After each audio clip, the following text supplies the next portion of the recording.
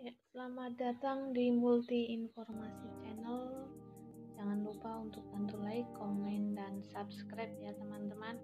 Nah, kita akan belajar mengenai bangun datar. Yang pertama kita belajar mengenai segitiga. Segitiga adalah bangun datar yang memiliki tiga sisi dan tiga sudut.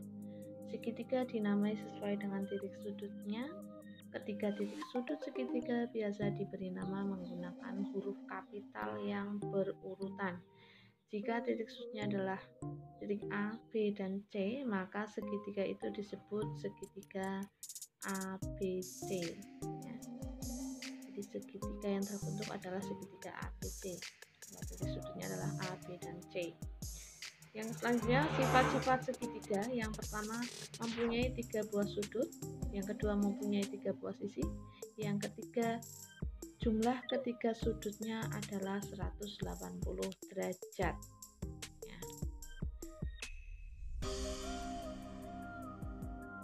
Ini adalah jenis-jenis segitiga ditinjau dari panjang sisinya. Yang pertama ada segitiga sama sisi, yang kedua ada segitiga sembarang, dan yang ketiga ada segitiga sama kaki. Itu ditinjau dari panjang sisinya.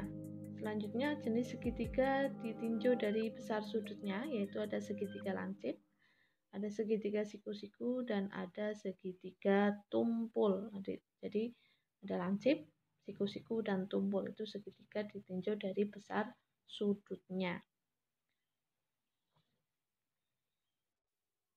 Selanjutnya segitiga ditinjau dari besar sudut dan panjang sisinya, yaitu ada segitiga lancip sembarang, segitiga siku-siku sembarang, segitiga tumpul sembarang, segitiga siku-siku sama kaki, segitiga lancip sama kaki, dan segitiga tumpul sama kaki. Jadi bedakannya sebenarnya ada lancip, siku-siku, dan tumpul.